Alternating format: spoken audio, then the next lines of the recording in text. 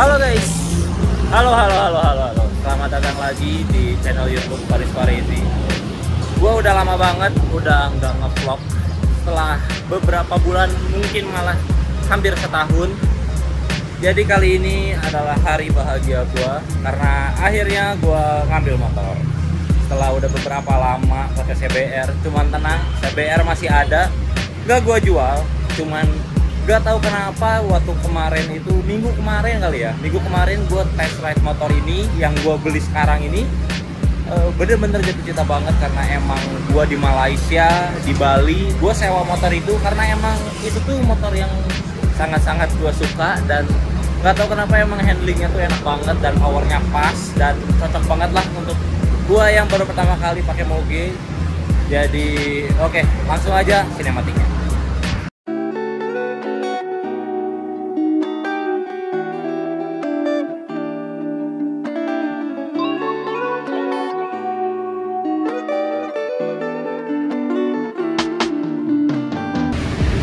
Oke, jadi kali ini motor langsung diservis dan ganti oli, ganti radiator, terus sama cek-cek yang lain lah supaya enak dipakai. Dan ini dia motornya guys. Awas, awas. Be, ganteng banget, ganteng banget. Ini udah velgnya Marce, terus Brembo-nya udah GV4RX, terus yang belakangnya udah pakai Brembo P2 yang nickel knalpot Austin Racing karbon-karbon udah banyak banget karbonnya. Ini sampai belakang-belakang sampai bawah ini udah pakai karbon juga. Wah pokoknya udah banyak banget ini. Ini udah Brembo ini kayak karbon. Pokoknya udah bener-bener full. Karbon-karbonannya udah cocok banget lah. Pokoknya udah bingung banget gua mau ganti apa gitu ya. Saking saking semuanya udah diganti. Nih lihat. Beuh cockpitnya ini jelek banget lagi lagi dibelokin gini cuman ya udahlah. Begini guys tampilannya jadi ini motor mau diservis dulu. Dan ya udah langsung aja lanjut ke sinematiknya.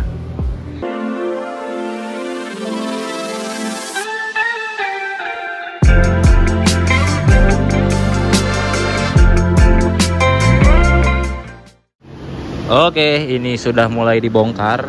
Jadi ini kita tunggu aja. Jadi ini tuh mau ganti uh, air radiator sama ganti oli doang sih sebenarnya sama nyopot DB killer supaya lebih berisik. Karena kan kalau Austin Racing tuh DB killernya nggak dari luar tapi di di 3 per 4 ini nih.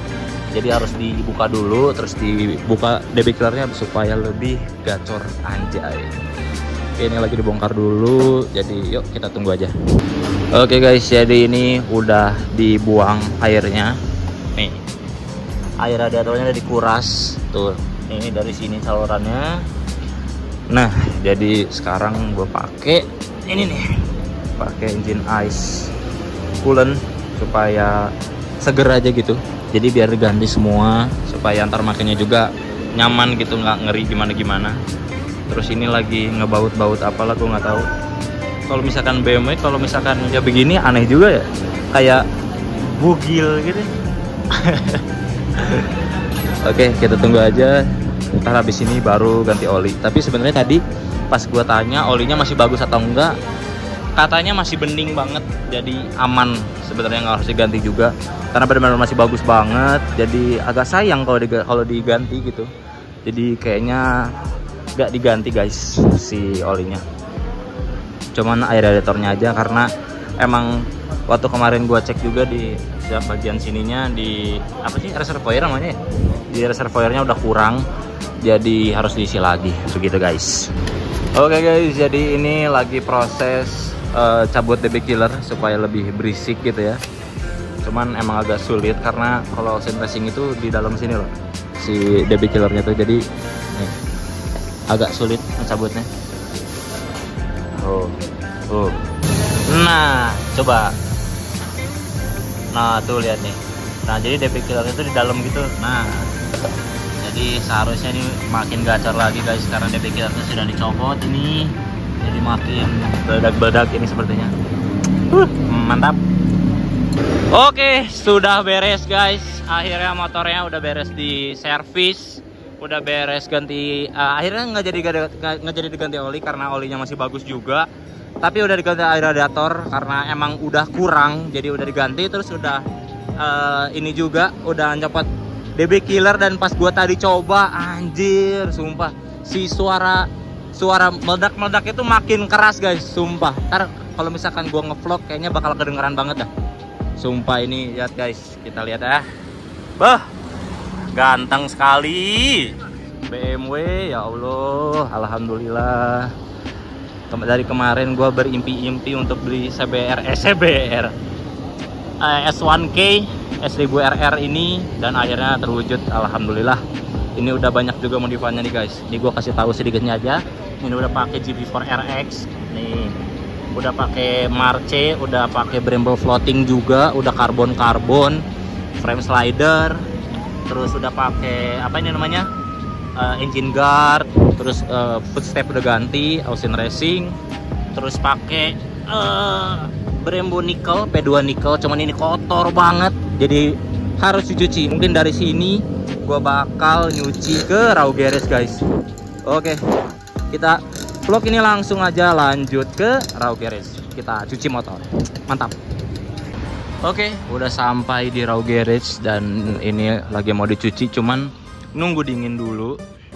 Nih kita lihat lagi motornya. Beh sumpah cakep banget. Jadi ntar tuh ini mau dicuci spa gitu karena emang udah lama banget nggak dicuci ini. Masih nih lihat ya. Tuh kayak kotor banget di velgnya juga. Jadi mau langsung dicuci spa supaya semuanya bersih guys. Gile cakep banget ya